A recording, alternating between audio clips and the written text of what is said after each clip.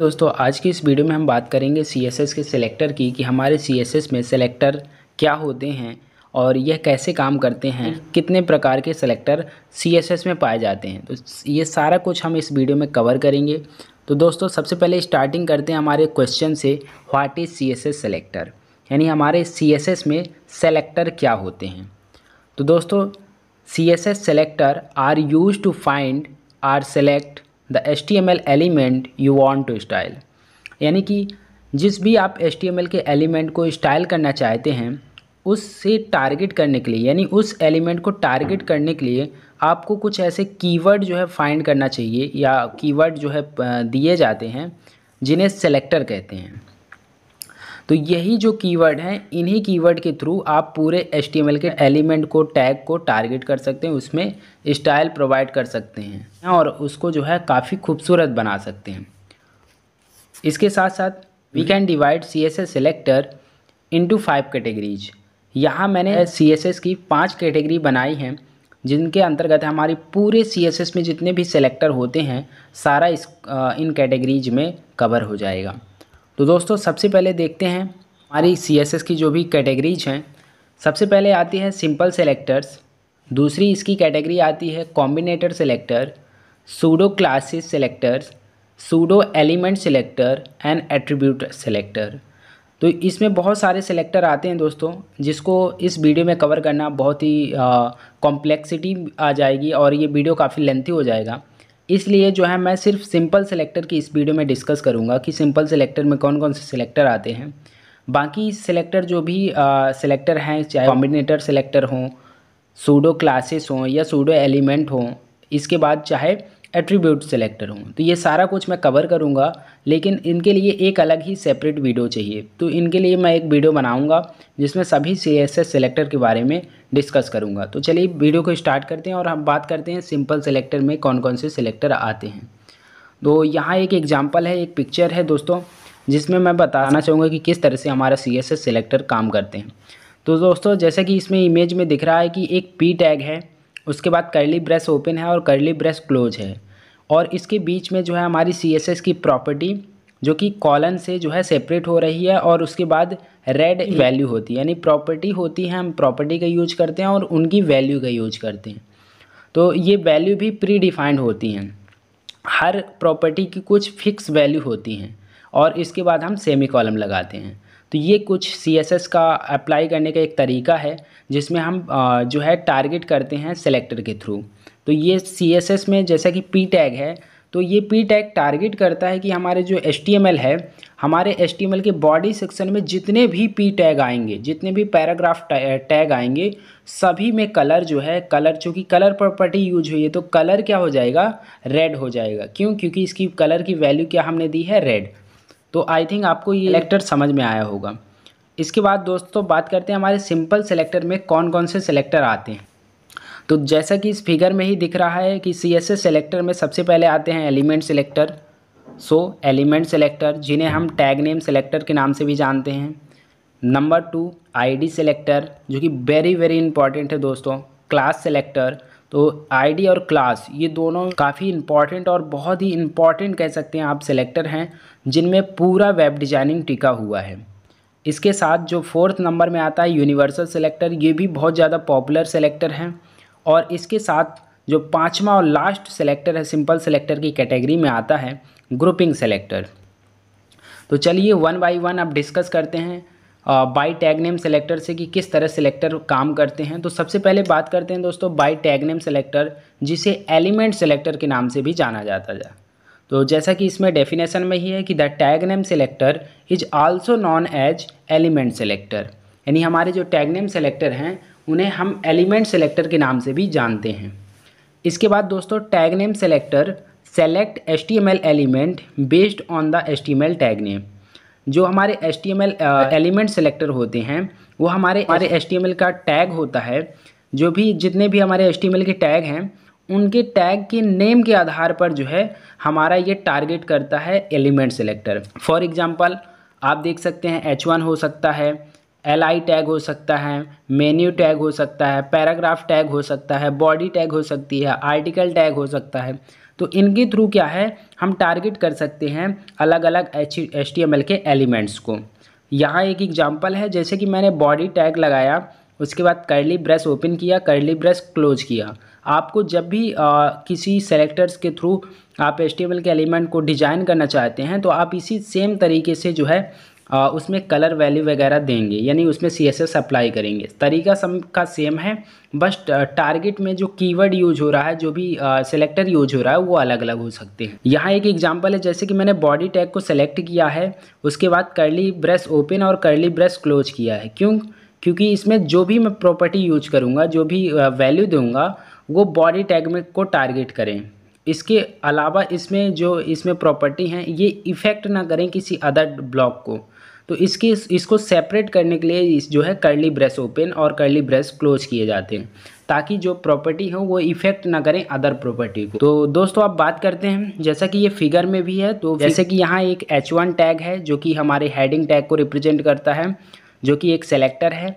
इसके बाद curly brace open उसी सेम तरीके से जैसे कि मैंने बॉडी टैग को बताया और उसके बाद करली ब्रश क्लोज है और बीच में इसकी वैल्यू दी गई है कलर कॉलन ब्लू, जो कि एक कलर की वैल्यू है। इसके बाद फॉन्ट साइज़, जो कि एक प्रॉपर्टी है। उसके बाद कॉलन, फिर ट्वेंटी एक्स पी एक्स का मतलब यहाँ होता है पिक्सल, यानी ट्वेंटी पिक्सल, उसके बाद सेमी कॉलम तो इस तरह से आप देख सकते हैं हम किस तरह से हम सी एस एस को अप्लाई करते हैं with the using of selector अब बात करते हैं दोस्तों हमारे बहुत ही इंपॉर्टेंट सिलेक्टर क्लास सिलेक्टर की। तो क्लास सिलेक्टर क्या होती है कि अगर आप multiple element can the same class values अगर आप जो है मल्टीपल uh, एलिमेंट को आप सेम क्लास दे सकते हैं यानी कि एक ही नाम दे सकते हैं एक ही क्लास का नाम कई सारे एलिमेंट कई सारे एच के एलिमेंट दे सकते हैं।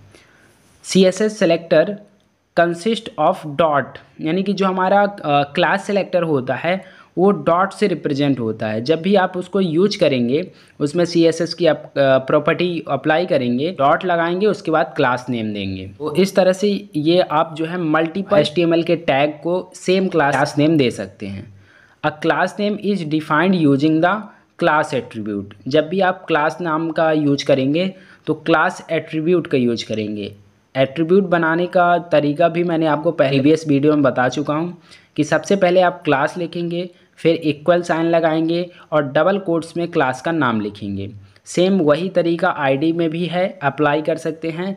सबसे पहले आईडी लिखेंगे इक्वल साइन लगाएँगे और डबल कोट्स में आईडी का नाम लिखेंगे। और ये जो हमारा क्लास होती है ये रिप्रेजेंट होती है डॉट से और उसके बाद इस जो भी आप क्लास का नाम बनाए हैं डॉट और क्लास नेम यानी उसके बाद क्लास नेम लिखेंगे। दोस्तों अब बात करते हैं हमारे सेकेंड बहुत ही इंपॉर्टेंट सेलेक्टर की आईडी सेलेक्टर कि आईडी सिलेक्टर क्या होता है?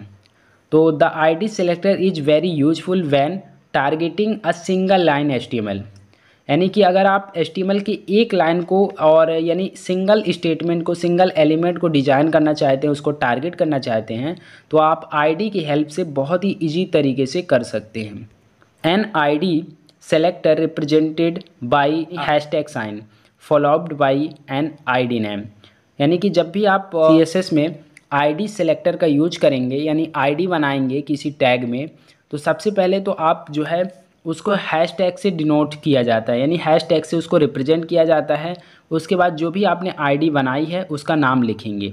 जैसे यहाँ आपको एक फिगर में एग्जांपल दिखा है जैसे कि पैराग्राफ टैग है एक उस पैराग्राफ टैग में आईडी एट्रीब्यूट का यूज़ करके हमने क्या किया है? फ़र्स्ट नेम आईडी बनाई है ठीक है? जब भी इसको हम कॉल करेंगे यानी जब भी हम आईडी का यूज़ करेंगे तो सबसे पहले हमने लिखा है हैश टैग उसके बाद फ़र्स्ट नेम जो कि हमारा आईडी का नाम है उसके बाद हमने करली ब्रश ओपन किया करली ब्रश क्लोज किया और ये ओपन करली ब्रश और क्लोज करली ब्रश के जो है अंदर ही हमने सी एस एस की वैल्यू दी है सी एस एस की प्रॉपर्टी यूज़ की है कलर कॉलन उसके बाद ग्रीन सेमी कॉलम उसके बाद फ़ोन साइज़ लार्ज या लार्ज दे सकते हैं या आप नंबर में दे सकते हैं twenty pixel twenty five pixel उसके बाद सेमी कॉलम इसी तरह हमने एक और पैराग्राफ में आईडी दी है होम टाउन इस जो है हम कैसे टारगेट करेंगे तो सबसे पहले हम हैशटैग लिखेंगे, उसके बाद जो इसका नाम हमने दिया होम टाउन उसको लिखा हमने इसके बाद करली ब्रश ओपन किया करली ब्रश क्लोज किया, और ये ओपन और क्लोज करली ब्रश के अंदर ही हमने सीएसएस की प्रॉपर्टी यूज़ की कलर उसके साथ हमने हेक्सा डेसिमल कलर कोड दिया hash tag zero zero zero zero zero zero यानी कि ये ब्लैक को रिप्रेजेंट करता है। तो इस तरह से आई थिंक आपको आईडी सिलेक्टर के बारे में जानकारी मिली होगी। अब दोस्तों, बात करते हैं हमारे क्लास और आईडी में बेसिक डिफरेंस क्या है। जैसे कि एक लाइव एग्जांपल देखिए दोस्तों, कि मान लीजिए एमसीए की एक क्लास है। तो एमसीए की क्लास में देखा जाए तो 200 स्टूडेंट पढ़ते हैं, ठीक है? तो अगर किसी टीचर ने कहा कि एमसीए के सभी स्टूडेंट रूम नंबर थ्री में आ जाएँ तो ऐसी सिचुएशन में क्या होगा? रूम नंबर थ्री में जितने भी एमसीए के स्टूडेंट हैं, वो सभी एमसीए के स्टूडेंट रूम नंबर थ्री में आ जाएँगे। चाहे वो दो हो सकते हैं या दो सौ हो सकते हैं। लेकिन अगर बोला जाए ज़ीरो ज़ीरो वन या ज़ीरो ज़ीरो टू या जो भी आईडी नाम के स्टूडेंट है, या जिनका भी roll number zero zero one है या ज़ीरो ज़ीरो टू है, केवल वही जो है हमारे रूम नंबर थ्री में आ जाएँ। तो ऐसी सिचुएशन में जिस भी स्टूडेंट का roll number zero zero one या ज़ीरो ज़ीरो टू होगा, केवल वही रूम नंबर थ्री में जाएगा। तो आई थिंक दोनों के बीच में अंतर और डिफरेंस पता चला होगा कि जो हमारी आईडी होती है, हमारे एक पेज में केवल एक ही बार यूज़ होगी। लेकिन क्लास में क्या होता है? क्लास में ऐसा कोई वेरिएंट नहीं है। यानी एक पेज में एक ही क्लास कई सारे एलिमेंट में हो सकती है। लेकिन हर एलिमेंट में आईडी अलग अलग ही होगी। यानी आईडी यूनिक होती है। इसके बाद दोस्तों बात करते हैं हमारे ग्रुपिंग सेलेक्टर की, कि ग्रुपिंग सेलेक्टर क्या होते हैं? तो इसमें क्या होता है दोस्तों? C S S rule set may have similar declaration take a look at this example यानी कि हम अगर दो या दो से अधिक सेलेक्टर का यूज़ करके टारगेट करते हैं तो वो हमारे ग्रुपिंग सेलेक्टर के अंतर्गत आते हैं। फॉर एग्ज़ाम्पल जैसे हमने लिखा है एच वन कॉमा दिया, उसके बाद पी टैग लगाया। यानी कि हमारे एच वन के बाद जितने भी पी टैग आ रहे हैं, उसके बाद करली यानी ओपन और उसके बाद हमने करली ब्रश को क्लोज किया। इसके बाद हमने, यानी इन दोनों ओपन और क्लोज करली ब्रश के अंदर ही हमने CSS की प्रॉपर्टी लगाई है। यानी कि फॉन्ट फैमिली एरियल हो जाए और कलर हो जाए ग्रीन तो यहाँ इसका मतलब ये है दोस्तों कि हमारा H1 जो हमारा हेडिंग टैग को रिप्रेजेंट कर रहा है तो H1 के बाद जितने भी पैराग्राफ आ रहे हैं, सभी में फ़ॉन्ट फैमिली एरियल हो जाएगी और कलर हो जाएगा उनका ग्रीन तो आई रियली होप कि आपको ग्रुपिंग सेलेक्टर भी काफ़ी अच्छे तरीके से समझ में आया होगा, जिसमें हम दो या दो से अधिक ज़रूरी नहीं है कि ये हमारे एच के टैग भी हों. हम आईडी और टैग नेम सेलेक्टर का भी कॉम्बिनेशन बना सकते हैं, या हम क्लास और जो है आईडी का कॉम्बिनेशन बना सकते हैं. तो इस तरह से हम यूज़ करेंगे ग्रुपिंग सेलेक्टर का।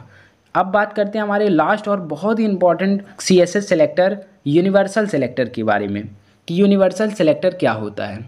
तो दोस्तों, यहाँ यूनिवर्सल सेलेक्टर की एक डेफिनेशन है कि the universal selector is one in C S S star science इसे रिप्रेजेंट करते हैं डिनोट करते हैं। सेलेक्ट ऑल एस्टिमल एलिमेंट और tag on the whole page यानी कि अगर हम पूरे एच के एलिमेंट को एक साथ टारगेट करना चाहें यानी यूनिवर्सल सेलेक्टर क्या करता है?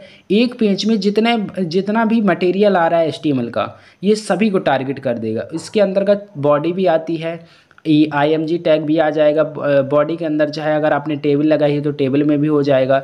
पैराग्राफ जितने आ रहे हैं सभी में हो जाएगा हेडिंग जितनी आ रही हैं सभी में हो हो जाएगा। इसके साथ अगर आपने स्पैन टैग लिया है डिप टैग लिया, सभी में ये सारी चीज़ें अप्लाई हो जाएँगी यूनिवर्सली क्यों? क्योंकि ये हम यूनिवर्सल का यूनिवर्सल सेलेक्टर का यूज़ कर रहे हैं। यहाँ एक एग्ज़ाम्पल है, जैसे कि हमने डॉक टाइप एस लिखा, उसके बाद एस का ओ टैग लगाया, उसके बाद हेड टैग स्टाइल और स्टाइल के अंदर ही हमने क्या किया? हमने स्टार्ट साइन लगाया और स्टार्ट साइन के बाद ओपन कर ली ब्रश, क्लोज कर ली ब्रश के अंदर, टेक्स्ट लिखा है, टेक्स्ट अलाइन सेंटर और कलर हो जाए ब्लू। इसका मतलब ये है कि जितना भी बॉडी टैग में मटेरियल आ रहा है, चाहे वो एच वन हो या पैराग्राफ टैग हो, जितने भी पैराग्राफ टैग आएँ या चाहे जितने भी एच वन टैग आए, सभी जो है सेंटर अलाइन हो जाएँगे और उनका कलर यूनिवर्सली ब्लू हो जाएगा। तो ये आप फिगर के माध्यम से भी समझ सकते हैं। तो thanks for watching this video I really hope कि आपको सीएसएस के सेलेक्टर बहुत अच्छे तरीके से समझ में आए होंगे। और अगर आपको वीडियो अच्छा लगा हो तो प्लीज़ वीडियो को लाइक एंड शेयर करें। अगर आप हमारे चैनल में पहली बार आए हैं, पहली बार विज़िट किया है और इस वीडियो को पहली बार देख रहे हैं तो प्लीज़ चैनल को सब्सक्राइब करें। आपकी सब्सक्राइब की बहुत ज़रूरत है।